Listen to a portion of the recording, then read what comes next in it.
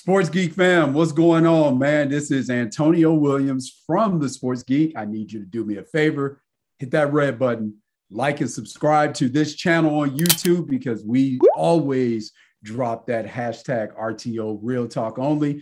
Again, I got my man Will Cormier here. Does a great job talking about writing about politics and entertainment, but he talks about the fight game in it, 10 toes down. Will, what's going on, man? What's going on?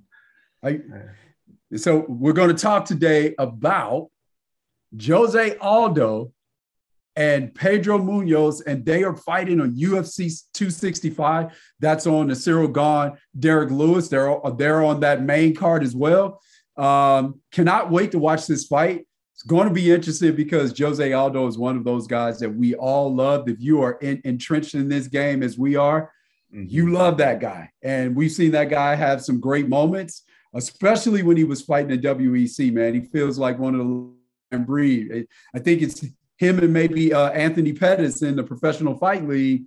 That's about it, right? Right? Right? No, um, dude, the California kid. Urijah Faber. Urijah Faber. Yeah, I, Man. I forgot his name. It's been a while, but uh, yeah, he was another staple of that of that yes. organization for sure. Yeah, yeah. Benson Henderson. Yeah. Mike Brown.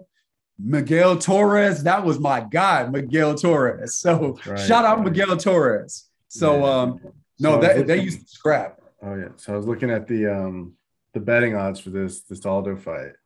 Yep. And the favorite like outcome is that it goes the distance. So you can bet on just that at minus 170. So they're expecting a decision, which is interesting for two guys that are going to be pretty aggressive and and you know stand up and fight. So right, if a fighter wins inside the distance, so it doesn't if it doesn't go the distance, they think it's going to Pedro. So he's at plus 265 if if the fight doesn't go the distance, whereas Aldo's plus 400. Right. I got it. Then if you go method and round, the outcome that they're predicting as like the most favorable is that Jose Aldo wins by points.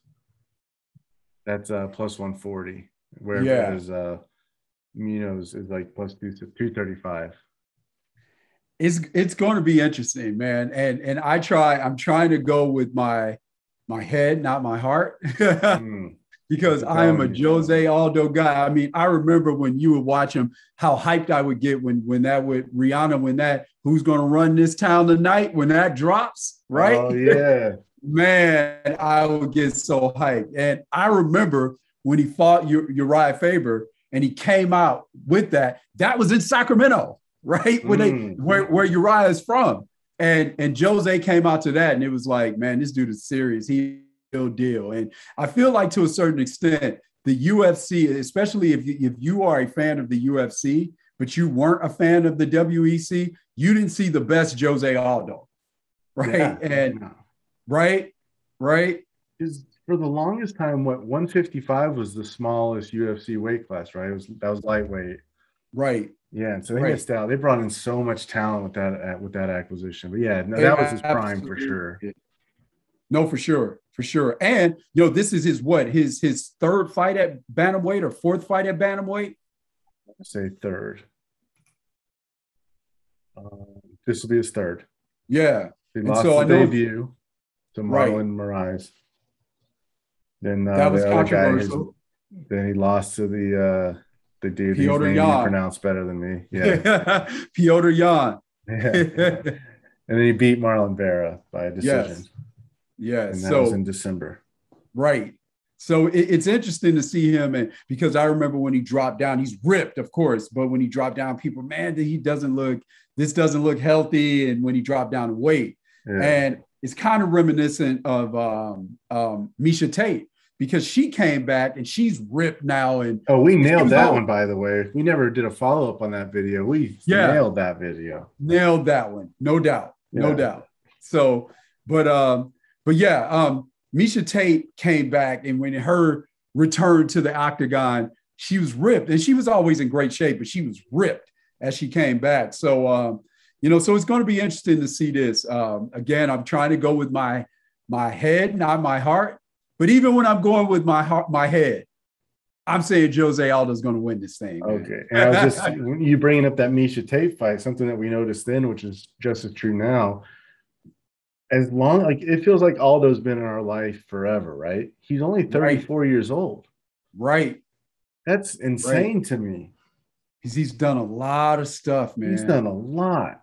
Yes, yes, he's done. And a lot he's the stuff, younger of these two fighters. which is crazy. which is Just two crazy. days, but Right, but still, but still, you, you know, it'll it'll be interesting um, from Pedro Munhoz's uh, perspective because we talk about this right when idols become rivals, mhm. and this is a big, big fight for him. And, and in the pre-show before we recorded this video, you talked about how what let's say this sports geek fan. My man Will is going to tell you one of his saddest moments being a combat sports fan. Break it Uh, down for me, my man. Let's talk the about Conor. McGregor fight. The Conor McGregor. Just because I was saying like when we with when we deal with betting, like we do in this in this uh on this website, you're dealing with probabilities.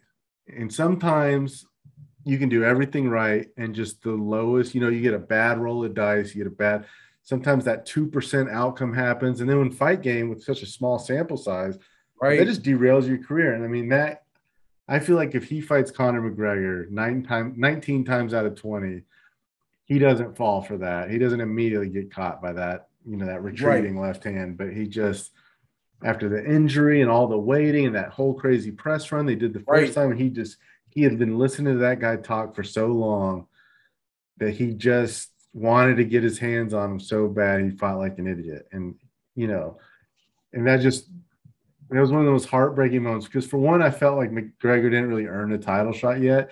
He ended up winning, so like he proves you wrong on that front. But like usually, if you don't have like a huge name and a big mouth, a win over Dennis Siver does not win you a title a That's title a good shot. point.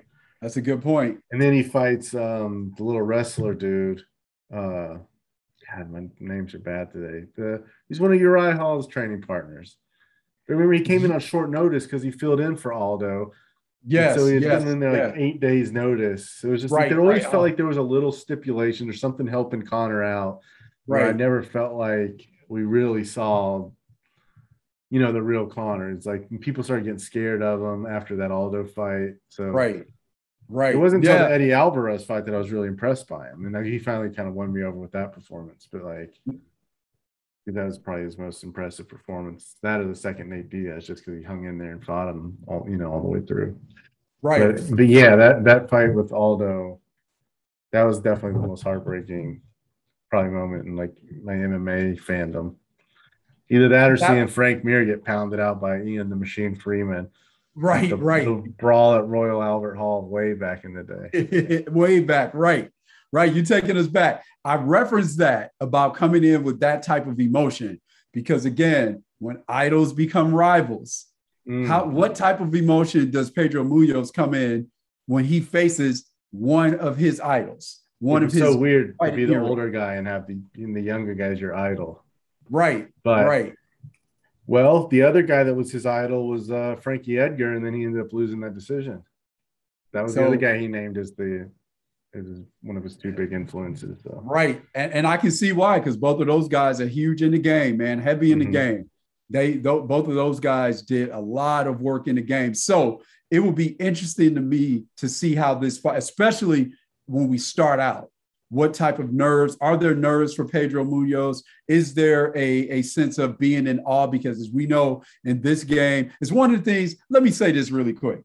It's one of the things I like about Allen Iverson okay. when people say, "Oh, he disrespected Jordan." No, you don't know because you didn't step in between those lines before. oh, he did not disrespect Jordan. Yes, what he said was, when we go to battle, when we start playing, the respect and the fandom has to go out of the window. That's Yeah, what you're getting said. my best. It'd be disrespectful not to give your idol your best. That's exactly right. Yeah, but people that haven't competed don't understand that. I'm pulling cards right here, sports fan, uh, sports uh, geek fam. I'm pulling somebody's card. So, Okay. yeah, So I think if this is you going had to to lead towards these. So we're going off of BetOnline's betting odds. Here's where I'm leaning to. If it doesn't go the distance, I'm saying Pedro wins this at plus 265, right. or Aldo by points at plus 140. But I don't think Aldo's going to stop him. I'm going. I'm going to say it's going to go to distance, and Aldo's going to win it. Okay, plus one. That's what I'm Still thinking. nice little return on that. Yes, that's what I'm going with. I'm going with that one. I'll take that one. I guess I'm going. I'm convincing my uh, heart that I'm going with my head. Right. Okay. I'm convincing my head that I'm going. There's a complicated thing going on here. All right. I got Exactly. Exactly. So, my yeah, my uh, my heart is like, yeah, that that's a good bet. It's, it's making me feel like I'm smart. Okay. Okay. so that's where we're going. Jose Aldo, my guy, you got to do it. Who's going to run this town tonight? Sports Geek fam, this is how you run this town tonight. Hit that subscribe button. Continue to watch this great content. Read my man Will on that entertainment and politics tip. We'll be back soon. We appreciate you. All right. All right.